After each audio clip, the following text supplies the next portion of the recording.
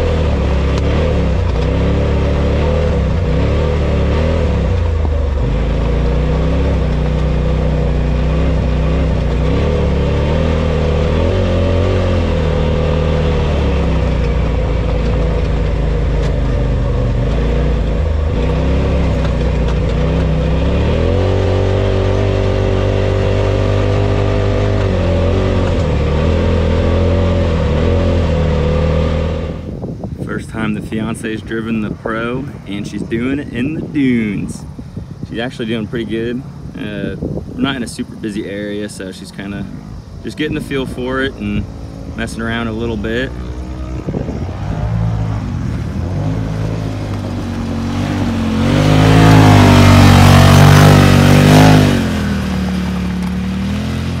Surprisingly, it's actually a really easy machine for beginners. Sounds kind of weird saying that with a turbo, but it, the turbo really doesn't kick in until like 35 miles an hour, honestly. I mean, if you goose it, it's gonna kick on a little bit sooner, but when you're just cruising around, it's really controllable. The throttle response is really good. It's not touchy. It's not tuned, so it, the throttle response isn't quite there like a tuned machine with a good clutch would be, but it's perfect for her to kind of mess around with. It's in low, so really she's not gonna be going that fast anyway. She's kind of just feeling it out a little bit.